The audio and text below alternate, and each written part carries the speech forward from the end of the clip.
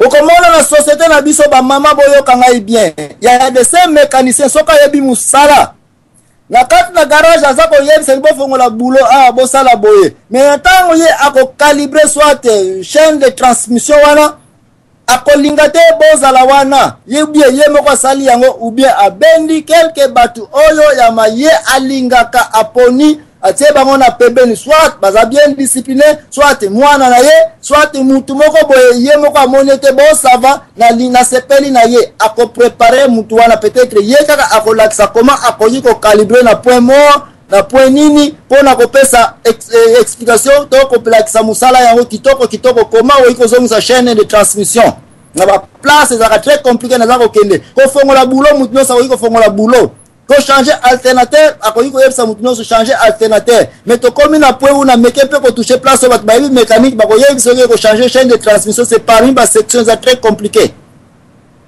okoya komona ete maitre oyo mwana oyo alingi na ndenge ya prepare ye mwana oyo mpe place akokende akolanda lokolo wana tomoni yango mpe ntina bakatcher Un bon catcheur akolakisaka ba secret na ye to un sportif na mwana oyo elève na ye ba oyo peut-être alingi ya trop na minute ya suka ou bien te ntango na kati atelier na ye ezalaka bongo meme na ba tailleur bakolakisa mosala kitoko na mutu moko soit aponi ba place mosusu azobomba comme secret Oui, biloko oyo na ye nango mpo boyeba ete ya de ces choses soki okoki kocomprendre yango na façon simple te ekozala difficile mpo comprendre yango na exemple na place oyo ezali ke réalité in vitro ezali koleka na place complication ya kokoso ezali motu nyonso te akoki kocomprendre ce qui se passe au congo sino ke biso nyonso tokoki kozala kaka na bapolitike généralisée Mais soki okoti na mozindo oya komona ete politique ya Congo ezali ko tourner tout autour ya parlement congolais. Congolais mwana Congo fongola misu. Moto azali patron azali ko orchestrer ba biloko nyonso oyo munoko na ye ekangami makasi apparemment il ne parle même pas mais en réalité c'est kenge wadondo qui est derrière toute cette manufacture mes frères faut me comprendre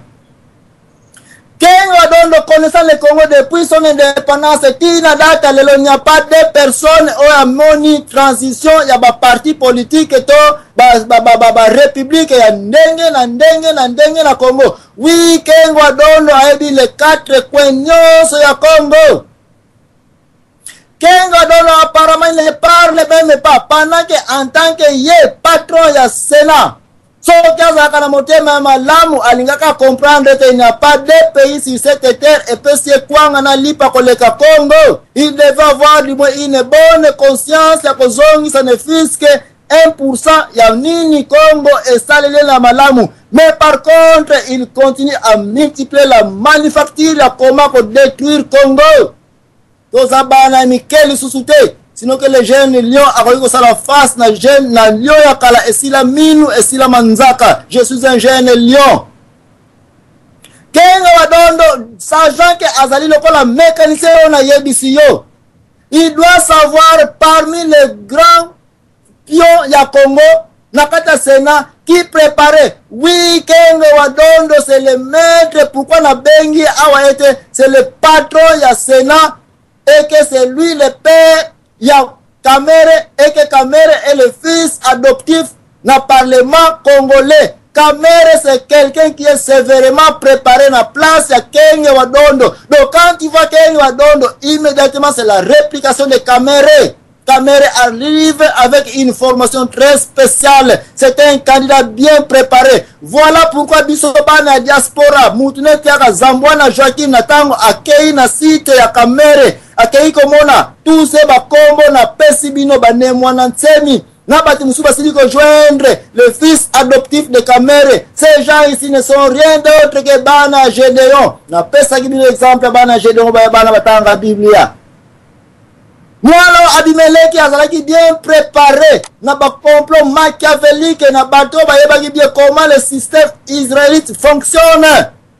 Benga bandeko na yo nyonso, salisa feti. Oui, Kamere va regrouper tous ces sénateurs prostitués sodomisés. Bato balingaka koyoka place mbongo ezali te bakei parce que ces, ces partis politiques n'ont pas de l'argent. Bamoni Kamere qui vient avec de l'argent. Oyo azwili wapi? Sans moyen ya 6000 dollars ba paiement bazwaka multiplier fois 12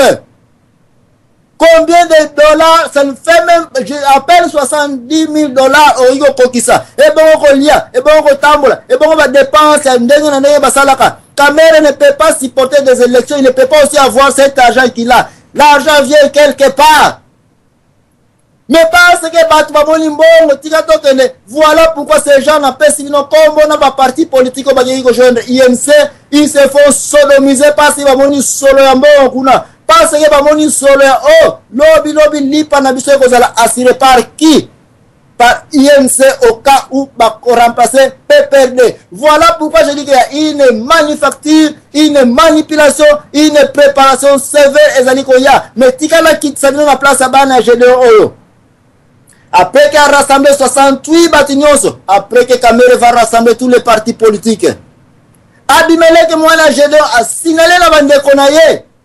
que boya bobamba bango nyonso wi 68 enfants ya gede na mokolo moko batekaki bango batete wi toute personne oyo bazali kose regroupe ke tosangana biso nyonso tosala parti politiki moko mpo tokende awa mpo toye ntango kovivre ntango kovaincre ntango kozala wana nous tous nous serons derrière lui mwana ya kongo toza lisusu na temps ya hypocrisie te tokomi na temps ya kopasola mpoke kati na radio oyo ya lisolo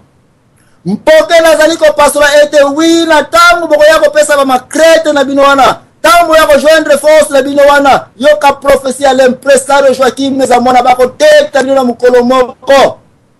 paske boza mpe deja ya kotetama paske bozali mpe deja sodomise par qui par le système parlementaire qui est kamere un petit de rien du tout aye lobi na sénateur mais c'est lui le boss tala barole ajoue kuna na parlement tala puissance azali nango na parlement kuna tala barole azali nango na pembe na présidence yo en tant que sénateur dans l'entretemps makolo na yo kwatu kwatu na présidence est ce que oyebi te ke il faut bombanda ezala entre le pouvoir exécutif le pouvoir législatif et le pouvoir judiciaire et ajouter encore le pouvoir gouvernemental tous ces pouvoirs bakoki jamais koyokana mais soki bazali koyokana ça ne sera pas possible mpo mariage oyo ezala parce que c'est là où moyibi ekotelaka na pays yo vital kamere en tant que sénateur makolo na na pprd kuna makolo na yo kuna na kati ya, ya, ya présidence executif ekendaki kosala nini kuna pour toutes ces années voilà là où nous sommes une manipulation ezali koleka na sena congolais me nalobaki yango très de titre lelo ezali est ce que vital camere n'est pas le fils adoptif de kenge wa dondo place oyo tozali koma na koyebela yango wi zwa biki na pape napesa yango komsa okota na deba ya kochallange ngai bana 50 50 nyonso tika toyeba ete y compris bapaya mosala moko kaka bazali na yango ils savent très bien ke lokola tozali bana na 50 50 lokola mwana oyo ya gedeon ayebaki ete il n'était ni fils azalaki mwana mopaya mama na azalaki puta mama na azalaki mwana ya israel te mwana oyo ayebaki ete si moi je ne me dissocie pas avec mes frères jamais nakotikalaka kozalaka na kiti wana azalaki mpe koloba te Oui, tala bana 50 50 nyonso oyo bana na présidence ti bino boyebi bango. Ce sont des gens qui ne parlent pas. Batalaka na misu. Discours ya pamba koya kopesa te soni soni. Comment tu peux être pour des années président du Sénat aucun jour tomona osimba micro mpo ya kopesa discours mpo ya kodefendre mpo ya koloba ete sur base de ce qui se passe à l'est Moi, le président du Sénat, j'ai dit ceci, ceci, cela. Ou bien, il faut calmer la population au, au vu. Il y a makambo ya ba élection ezali koleka ezali kokosa kipelekese j'ai dit ceci cela na ceni qui est na nani centre ya ya ya eza ko diriger makambo etali ba élection mpo na nini ozali koloba te puisque les élections ce n'est pas que par deux possibilités tokoki kotia président na kiti par élection ou bien par référendum referendum ekowutaka wapi na sena te baterme oyo oyebi yango te barole oyo oyebi yango te pourkui otiki kongo na kipelekese en tant que bino basenateur vous ne parlez même pas en tant que yo bos ya senateur kengwa dodo pourkui tout le monde parle des élections yo monoko na yo ekangami wi parce que ozali na yo mpe 50 50 mpo soki ozalaka mwana ya congo susi elingaki epesa yo ke wi mboka na ngai bana bazali kotiazuka ce n'est pas ke betelemi da yuda ya congo ezali senat ezali le parlement na ntango peuple toza na confusion na ntango baparti politique toza koyokana te mais c'est là où toyebelaka mayele ya un sénateur quel est genre de ce sénateur que tie kengwa dondo sino ke intelligence na nyonso oprépare kaka mere d'une façon machiavélique kesala boye Petit kota boye parce que je connais très bien ce pays. Tika bango baya. Tika bango. Tout ce qui se passe au Congo cette confusion vient du sénateur. C'est parce que ye moko aza na ye mpe kutu 50 et 50. ozali sire moto aza 50-50 akokoka na 100 pourcent aza mbwana moto aza na souci ya pays na ye non non non non non Keba na bana bayaka na 50-50. Me ndeko bopemisa nga pase nazali kozonga na deuxième section na ngai na banza mama eh, Yves Gigete oza kati na biso namoni mpe ndeko Roger Kashama oza na kati na banza na fongoli ba antenne na bainani kopesa epai ya yo mama Igete mokonzi ya bamama mpo toyeba makambo nauti koloba eske oza na un mot à dire ou quoi à vous l'antenne mama Igete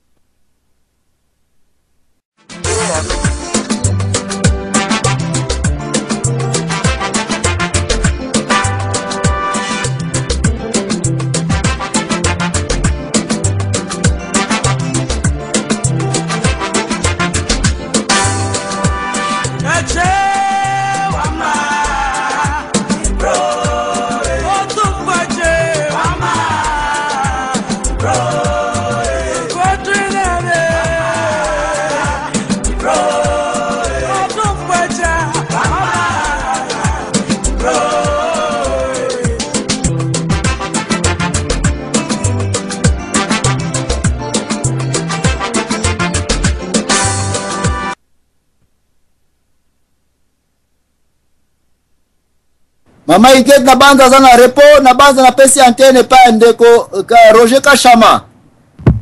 oui merci euh, papa na biso euh, nzambo wana ozoyoka nga 5 sur 5 5 sur 5 ndeko na ngai ok euh, vraiment Osali euh, intro moko na analyse moko très profond.